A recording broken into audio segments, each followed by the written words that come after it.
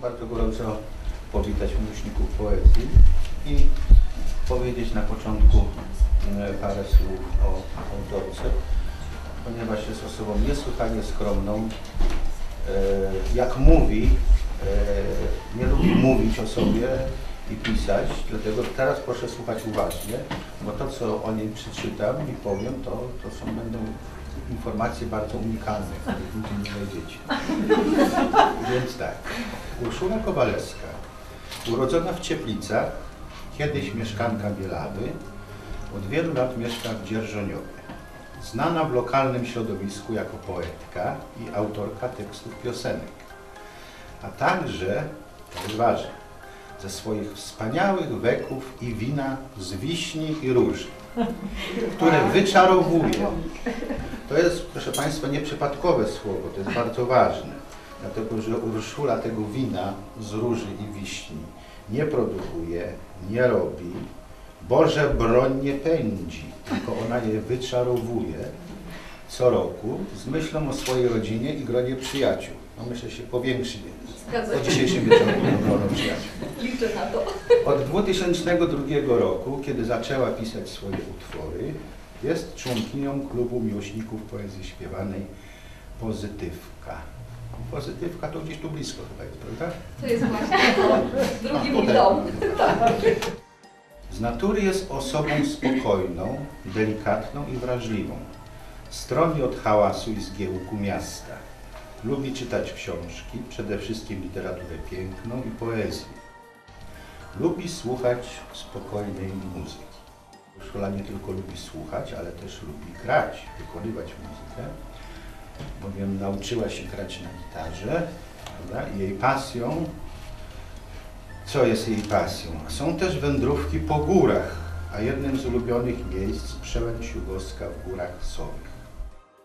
Więc ja bym prosił, żebyśmy wyobrazili sobie teraz, że można przymknąć oczy nawet, ja to pomoże, że zapada ciemność. Nogi gdzieś mnie niosą, chyba w nieznane, na pewno nie szosą. Chcę zawrócić nagle, lecz coś je blokuje. Jakaś siła na mnie oddziałuje. Idą, niosą, biegną przed siebie prosto, nie za moją zgodą ani czyjąś troską. Proszę zwolnij, zaraz, oddechu brakuje. Zgoda poeto, dzisiaj zahandluję. Warunek jest jeden. Oddam Twoją wolę, tylko podpisz cyrograf na poezji dole. Czy Urszula Kowalewska podpisała taki cyrograf na poezji dole? Przecież to był tytuł nigdy. A, dlatego go puściłem właśnie, chyba podświadomie. E, No natomiast e, ja jednak myślę, że gdybyś e, nie podpisała nigdy, to byśmy się dzisiaj tu nie spotkali. Przynajmniej z okazji Twojego, twojego tomiku. Czy mogłabyś nam tak uchylić takiego rąbka tajemnicy? Dlaczego piszesz? Zaczęłaś dość późno pisać, tu jest jakaś, tutaj jakaś aluzja z tego wieku, no ale to tak różnie. Ja się nieraz spotykam, że jak tam pisze o jakimś poecie, że jest młody, prawda, przed 60 prawda, debiutował, to ci młodsi się właśnie buntują. To ja im wtedy odpisuję, że to nie jest komisja poborowa wojskowa, że tak ma pełnoletność czy lat 19 to jest młoda, a później już jest stary. Więc mógłbyś powiedzieć, dlaczego w ogóle zajęłaś się poezją? Przede wszystkim y, nie piszę wierszy. Ja się spowiadam. Bo w myśl Mikołaja Gogola, że poezja jest spowiedzią duszy, a nie wytworem ludzkiej myśli. To takie jest moje motto. To, co piszę, to jest po prostu taka moja wewnętrzna potrzeba, moja, moja spowiedź. Taka przed Wami. No już zaczęłaś o, o tych swoich wędrówkach. I ten motyw wędrowania, drogi, no przewija się tutaj w Twoich wierszach. To jest zresztą taki bardzo wdzięczny wątek czy motyw w poezji kwiatu, człowieka wędrującego. Więc może teraz właśnie mm, przejdźmy do tego chodzenia. Krok w krok łazisz za mną, Nieskończoność kraczysz, moje przeznaczenie, krzywe lustra, dziwaczność. Łazisz za mną, przede mną drepczesz, ścieżki uwijasz, chichoczesz, szepczesz.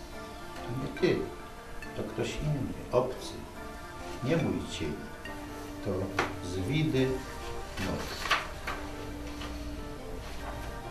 I co? Mam coś powiedzieć.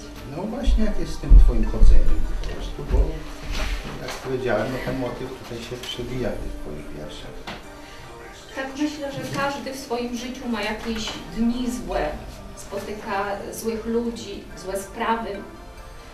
I myślę, że to też oddziałuje na, na nasze samopoczucie, na naszą jakąś tam poezję.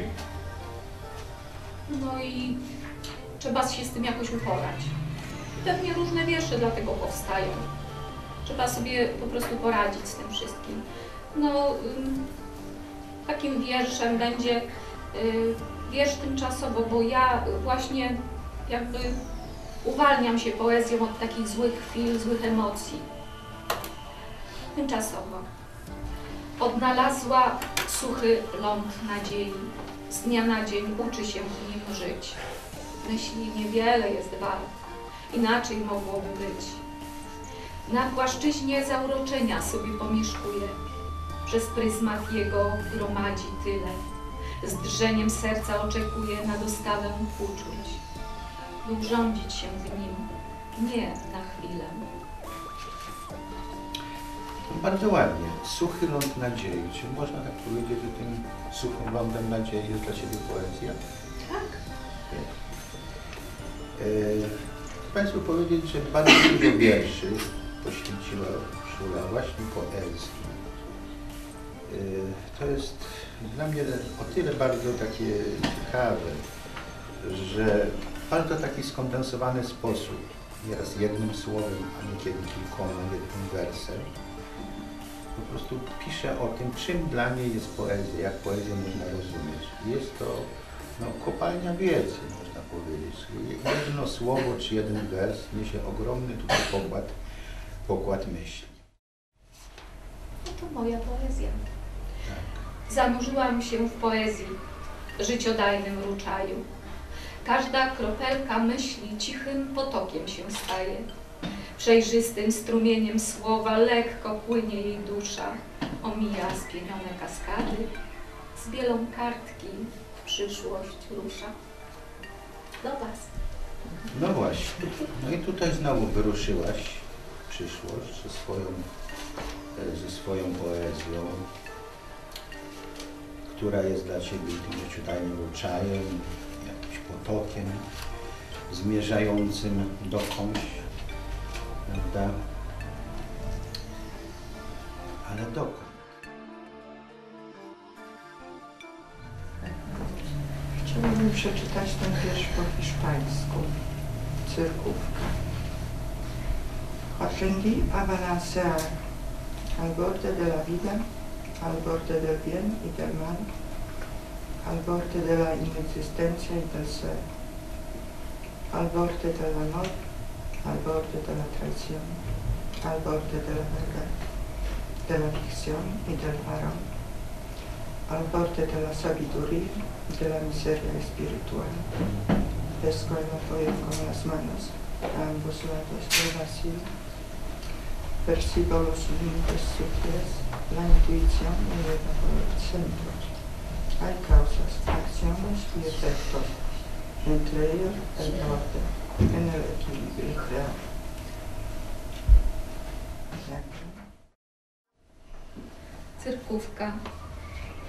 Nauczyłam się balansować na krawędzi życia, na krawędzi dobra, zła, nieistnienia i bycia, na krawędzi miłości, na krawędzi zdrady, na krawędzi prawdy, fikcji, blagi, na krawędzi mądrości, duchowego ubóstwa.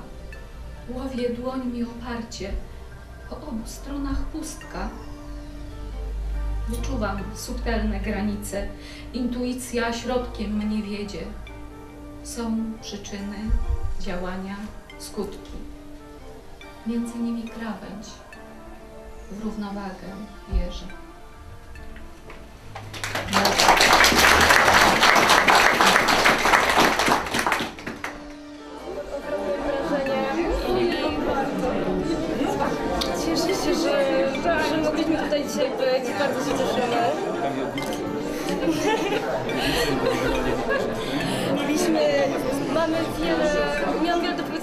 tam y, coraz bardziej indywidualnie, może powiem.